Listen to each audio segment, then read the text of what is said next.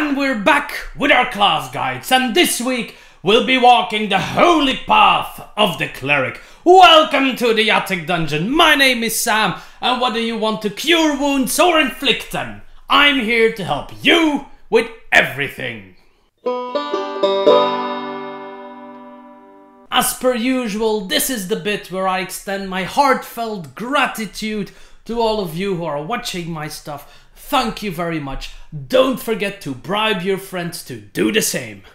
Ah, clerics. My very first 5e character was a cleric and I've loved them ever since. So today, take a look at the cleric with me. We're going to have a look at all their base features uh, and I'll help you understand what makes the cleric tick.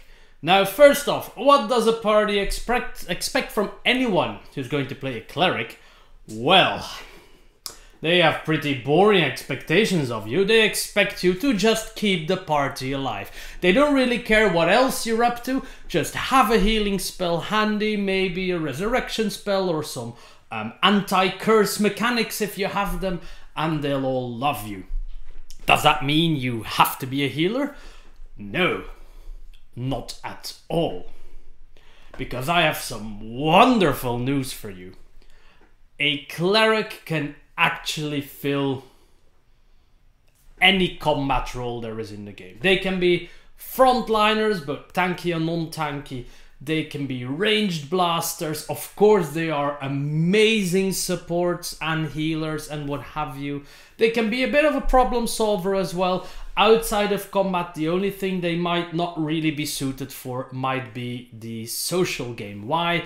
Um, they need decent investment in quite a few ability scores, so that leaves very little wiggle room to up your charisma score at the end of the day. But don't worry, I'm sure there's going to be some sorcerer or some bard in the party who can take care of that and you can carry the party with every other aspect of the game that you can cover. How come? Well, it's very simple. Domains. Domains are the cleric subclasses and there are so many of them. I haven't counted them, but that's a lot. They started out like seven or eight in the player's handbook, and it has only grown ever since. And each of them is quite specific at what it wants to do, but also grants you, hence the possibility to fill almost any combat role. To fill any combat role there is really.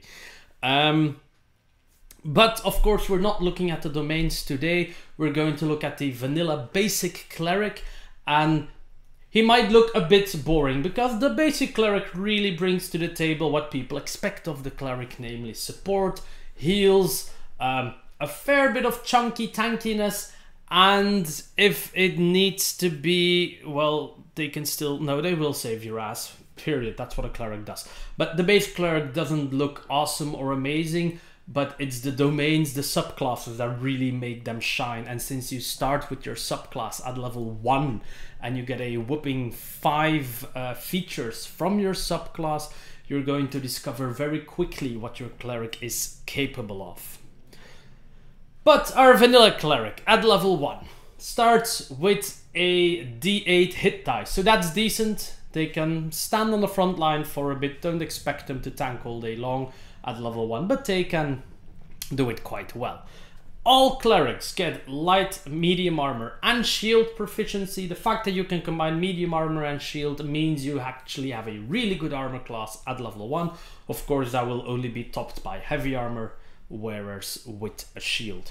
Um, so you're fairly tanky on the armor class side and quite okay on the hit point side. You also get to use all simple weapons as most people do, so you get some decent stabbers and clobbers, nothing too fancy though. Um, you have wisdom and charisma save. So as always, there's a really good one and an okay one.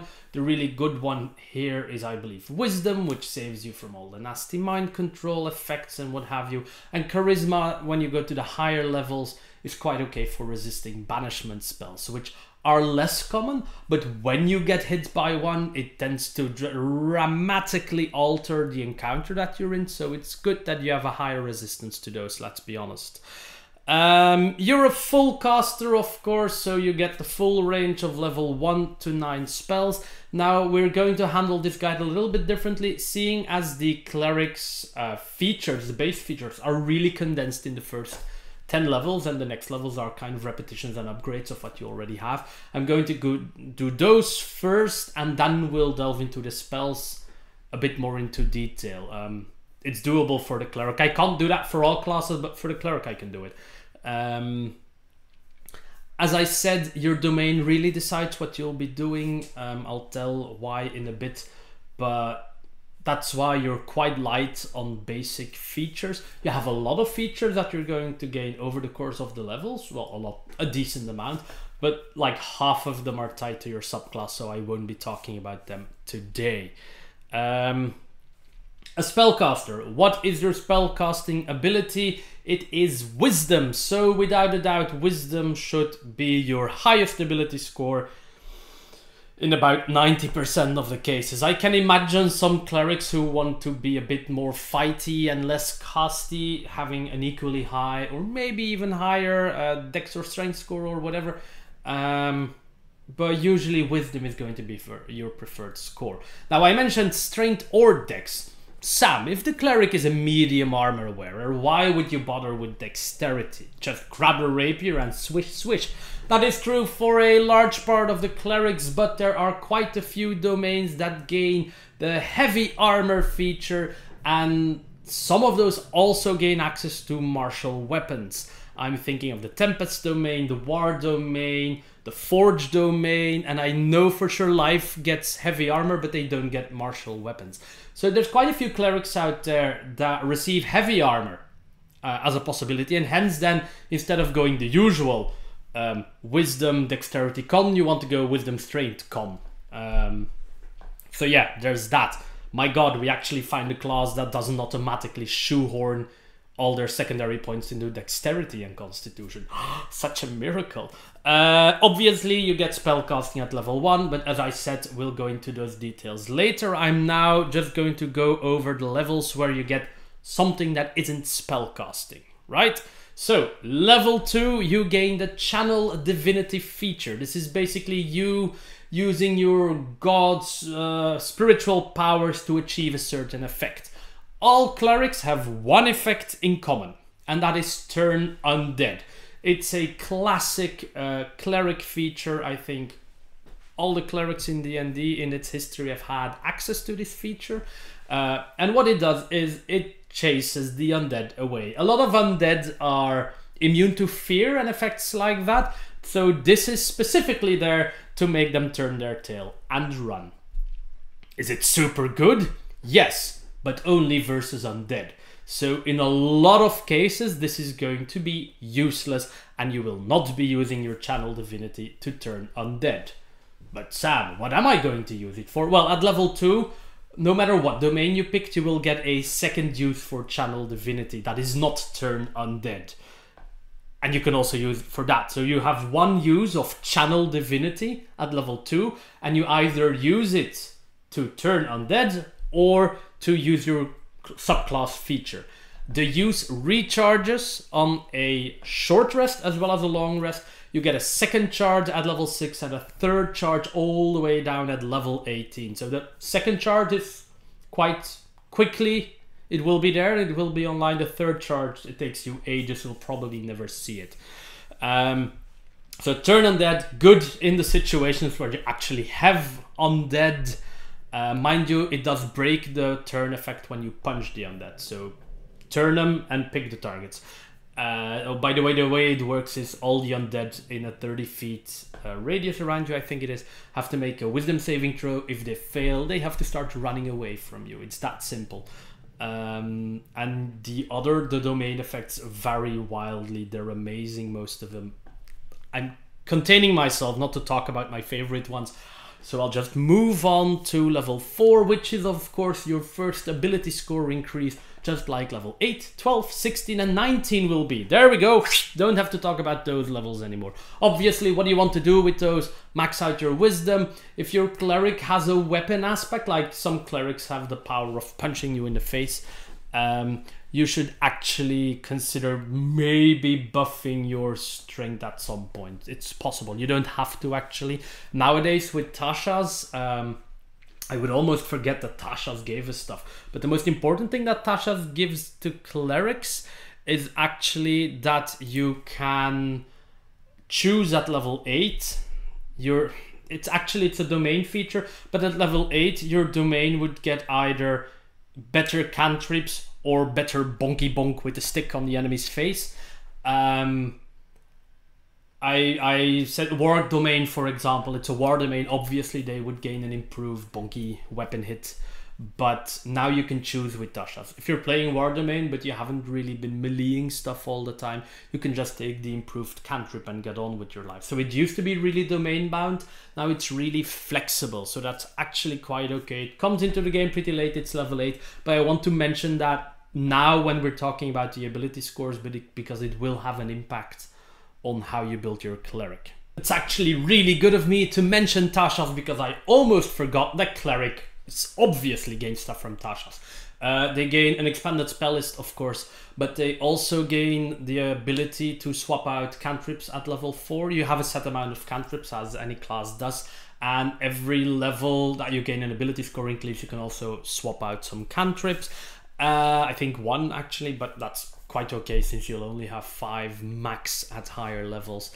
And uh, you also gain an extra use for Channel Divinity important. You can actually use Channel Divinity to restore a spell slot as well. The spell slot can be no higher a level than half your proficiency score, rounded up, by the way. It's one of the rare cases where they don't round down. So Channel Divinity has three uses, Turn on Undead, your domain specific use, and restoring some spell slots. It's not wow, it's not amazing, but since it resets on short rest, that's actually not bad. Once you have multiple uses, there are some domain um, uh, channel divinities that are like okay but situational, and this is actually really good for them. If your situational domain channel divinity isn't doing it, just fuel your spell slots uh, with your channel divinity every chance you get, reset it on a short rest, and keep going. If you have an amazing channel divinity like the Tempest Cleric, you'll have to choose, obviously. But now that we've had all the Tasha stuff, so at level 2, the extra channel divinity, at level 4, swapping out the cantrips, at, at level 8, choosing between a martial buff or a caster buff, as I said, we can continue with our normal cleric stuff. So that means we move on to level 5 and their turn on undead gets an additional use called Destroy Undead. Um, and it's actually pretty simple and equally situational. Um, if you use Turn Undead and the undead, one of the undead, it's an AoE spell, fails the save and it is uh, equal or lower to a certain CR rating, the undead will just die. He will become dead again. Uh, it starts very low at level 5 with half a CR undead dropping dead. And it goes up to I think level 17 yeah at level 17 you can insta kill CR4 undead. So yes this is good. This is a, a nice upgrade to a feature but it's equally situational if not more situational than the previous one. It's great if your dungeon master decides to throw the Night of the Living Dead at you and have like 20 zombies around you chances are some of those are going to meld if you wave your holy symbol around. Um, but yeah, it's an upgrade. Sure, it's a situational upgrade. Uh, level 6 is domain stuff, 7 is more spells, 8 is ASI, 9 is more spells. Level 10 brings us to the last base cleric feature actually already, and that is Divine Intervention. And this is when it goes off, this is why your dungeon master will hate clerics. It's not because of the rather amazing spell list, all the supporting and keeping alive that you can do. No, it's because you can summon your literal god to intervene in whatever shenanigans you're up to at that point. So basically, um, when you use divine intervention, you plead to your god. You ask them for help because you're up shit creek without a paddle and you don't know how to get out of it. how it works is very simple. You roll a percentile die, and if your roll is equal to or lower than your cleric level, your god will intervene. That doesn't mean they appear and kill all the bad guys, but they will intervene. So at level 10, very simply, that means you have a 1 out of 10 chance to summon your god. And it increases with 1% per level that you gain.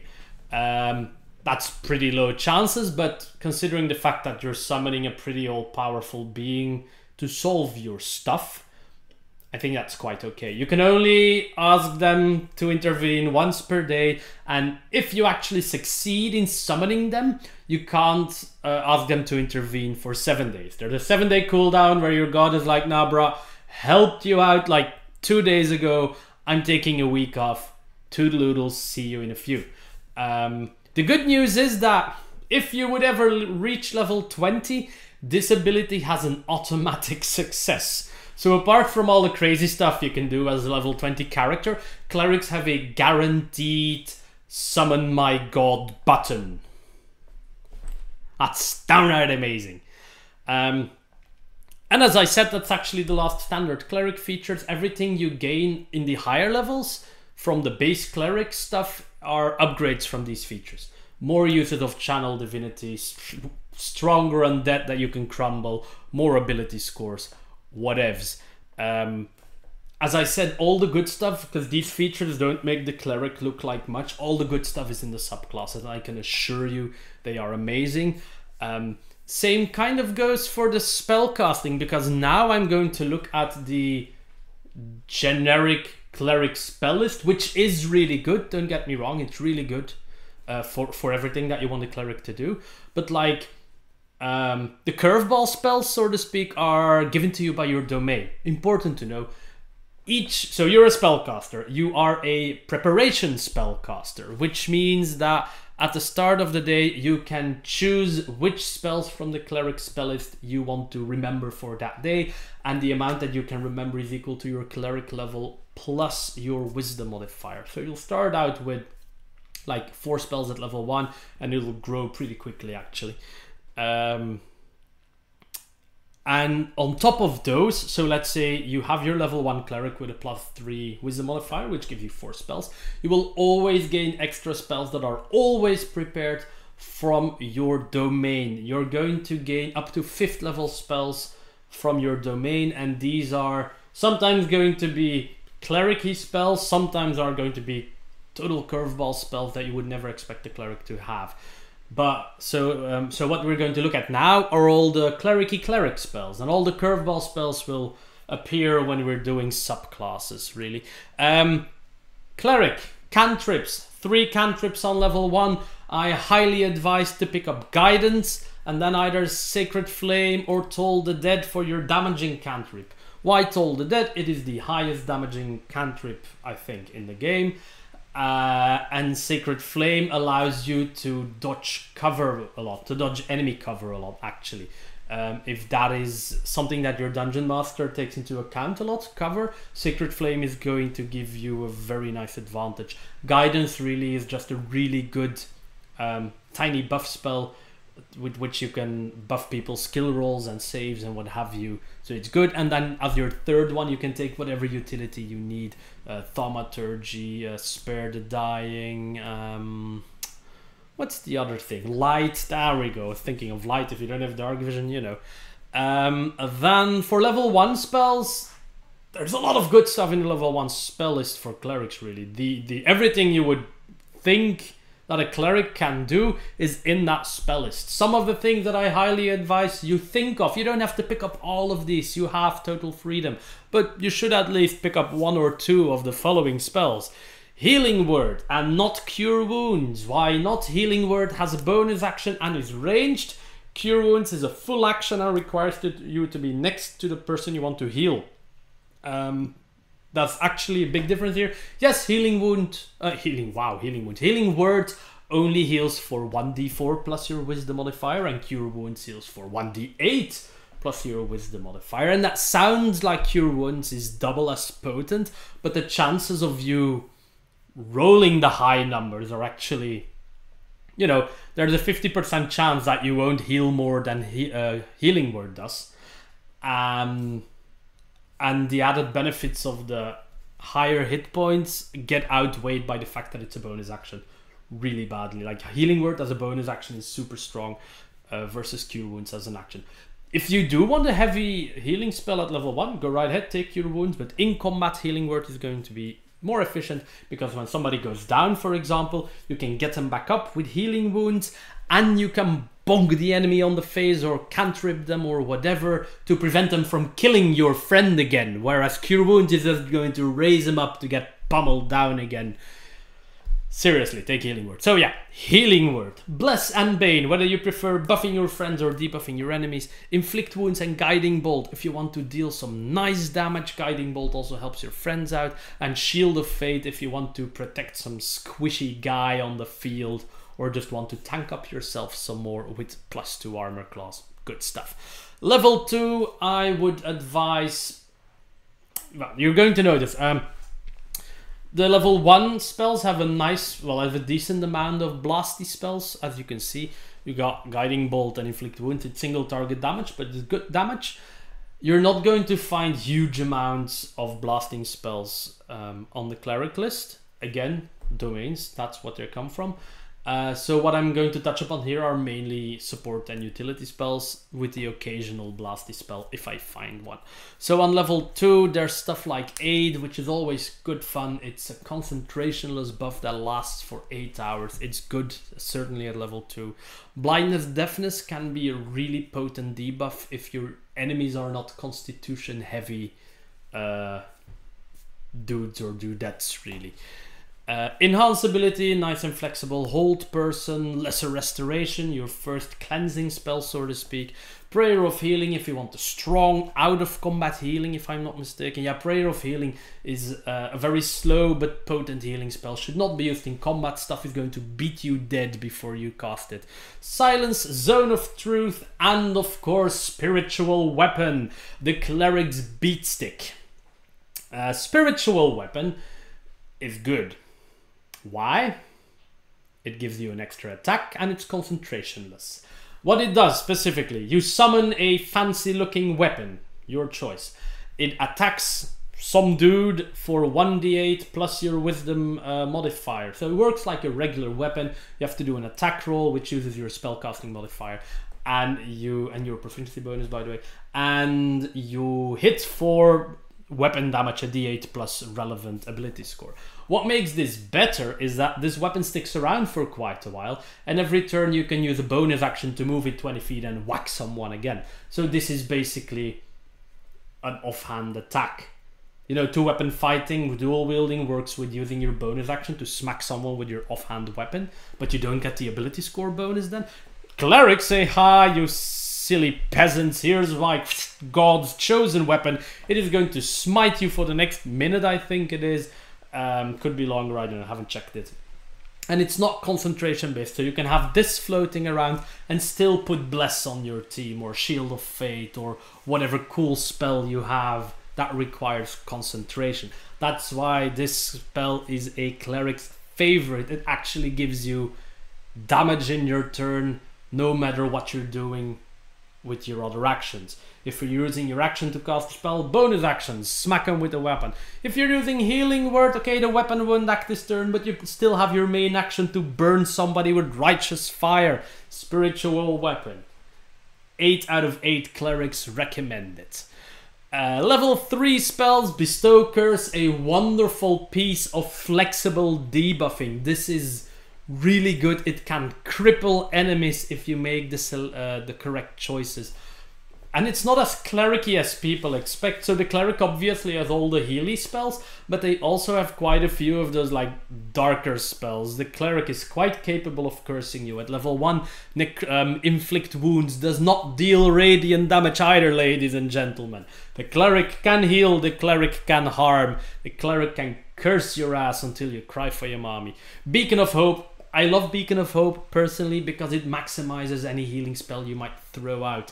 Um, and that's really fun. That's all I can say, really. If you're not like one cleric gets this as a benefit as well. So for them, uh, I think it's the life cleric. Obviously, for them, this is garbage. But any other cleric is like, ah, I really need to get into healing now because we need it. But I want my healing to be efficient because that's the usual problem with in combat healing in uh, fifth edition. It's not that efficient. Um, but Beacon of Hope will make it efficient. Obviously, you also have Dispel Magic here. You have Daylight. Daylight is perfect for dispelling darkness caused by all those Hexblade Edge boys with Devil's Sight. Daylight is good for when it's dark somewhere. Like, it also dispels magical darkness as long as the magical darkness is of an equal or lower level than the spell slot you use to cast Daylight. Mass Healing Word, because why heal one person if you can heal... Was it more than one. I can't remember how many it is, but it's a good healing spell. It's it's still a bonus action. It still heals for a smaller amount, but it heals a multitude of people. Combine this with your Beacon of Hope, and well, yeah, you can make the magic happen. Good, because you're a spellcaster. You obviously also get Revivify here, the first resurrection spell there is. Uh, Spirit Guardians, which is often combined with Spirit Weapons, so you have a weapon flying about and like two spooky dudes smacking stuff left and right. The Spirit Guardians, however, do use concentration, but together they give you a lot of attacking power as a passive, really, because the weapon is on a bonus action and you don't have that many bonus action stuff apart from Healing Word. And the Guardians just whack stuff when they when enemies start a turn next to them or run next to them. So it's a lot of passive damage output that we people would not expect from a cleric. Um, oh, I also wrote down tongues because I like tongues. There's always these dungeon masters go like, yes, they're talking a language that none of you understand. That's the perfect moment for you to go, why actually, I have tongues, so yes, I understand what they're saying. It's perfectly fun. Uh, and you don't always have to take battle support spells. You, you can prepare and unprepare according to what you need. So take some crazy spell now and then you never know that you might need it.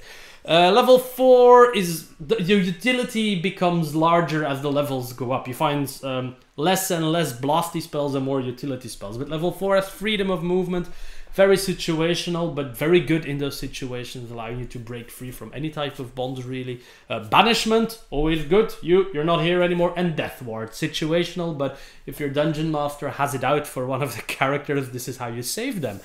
Level 5 has Geas, your first strong mind control curse, I think. You don't get other stuff like command and I forgot the level two. Oh suggestion you don't get those as a cleric uh, I think. But geas is a really strong uh, mind control curse actually. It's not really mind control but you put orders into place. Uh, holy weapon. I love holy weapon as a buff. First it buffs a weapon into concentration though. That's a bit iffy uh, it buffs the weapon to make it stronger and spank stuff, and then you can make the holy weapon kind of explode and blind all the enemies around it. I think it's good fun. Uh, Insect Plague, again, the darker side of the cleric showing up and eating your enemy's crops and the flesh of their bones. Summon Celestial, because every class needs a good summoning spell. And Scrying is one of those weird utility spells that if if your campaign revolves about you guys not knowing where the bad guy is or, or you need to find some person but you know what they look like or who they are or whatever. Scrying can actually break campaigns. Uh, the more you know about your enemy the better the higher the chances are that they will fail that are safe and that you can kind of plant this little spy next to them. That's the scrying does it makes this little invisible spy appear next to the target that you're trying to scry? Um, and this can potentially give you a lot of information. So when you look at it you might be not my kind of spell but it is potentially campaign breaking. Just depends on the campaign. We come to the higher levels. Level 6 have harm and heal. They do equal amounts of pain or healing. They're becoming like the more extreme versions of cure wounds and inflict wounds. Here here you have harm and heal. And you have heroes feast. People who know that i love Aid should not be surprised that I also love Heroes Feast. It does the same as Aid, but better. It gives you a lot more hit points to your party, and it stacks with Aid because it's a different spell. It also costs you a thousand gold each time you cast it, but by the time you get to level 6 spells, you should have plenty of money in your pockets. At level 7, instead of Summon Celestial, we have Conjure Celestial, so a better summoning spell. Firestorm to rain down some good old-fashioned judgment on those heathens. Uh, regeneration and Resurrection as two very important healing spells here. Uh, resurrection allowing a bit more flexibility than Revivify, which only, which only allowed you to bring people back that died in the last minute with 1 HP or something. Resurrection brings you gives you a broader um, chance of resurrecting someone. It opens up the time slot and the conditions for resurrecting them. Then we come, of course, to the heavyweight spells, your level 8 and level 9 spells. Now, at level 8, I highly advise Earthquake and Holy Aura. Why Earthquake? Well, if you want to experience what it feels like to bring down Sodom and or Gomorrah yourself, well, this is the spell for you. Why? This thing has a 500 feet range and the spell itself is an area of 100 feet. Uh, not radius this time, by the way. It's like uh, you use Earthquake anywhere within 500 feet that you can see. Sure, whatever. And uh, it causes a 100 feet long fissure, uh, crack, tremor, whatever, to appear in the area and everything happens around that tremor. Now that's a pretty long, long tremor. It causes fissures that people can obviously fall in or get stuck in. It deals damage to buildings. It brings down the house, well more than one house. It's a lot of fun. And then my personal favorite, actually apart from Earthquake messing up a large area, is Holy Aura because it can very much save lives in combat. Holy Aura is a concentration spell uh, last one minute, and with it, all the creatures, it's a 30 feet radius this time around, so 30 feet every side from you.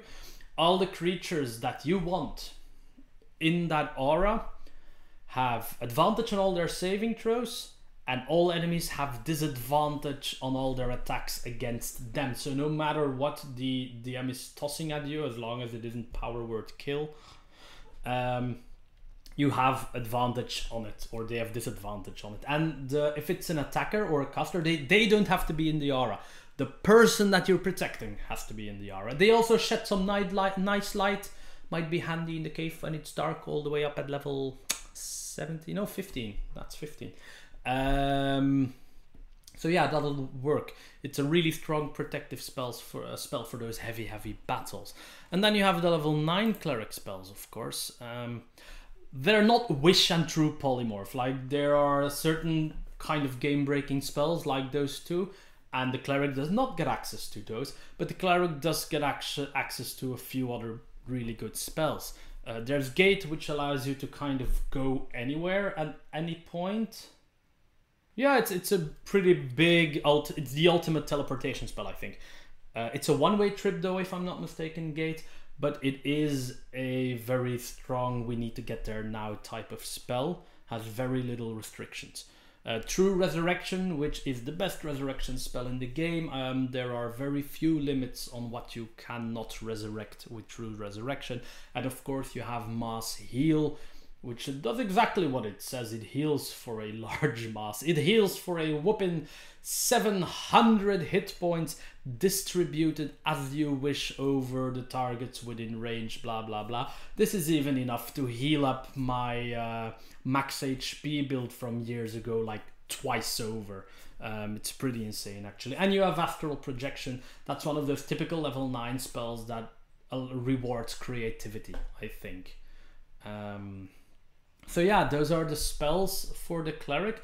I picked out a few to talk about. All the others that I mentioned, go and look them up. They're usually good picks for a cleric. They will be complemented by your domain spells. So with this, you're more than well equipped to make your own cleric and get to work. I'll see you all next time in the Attic Dungeon.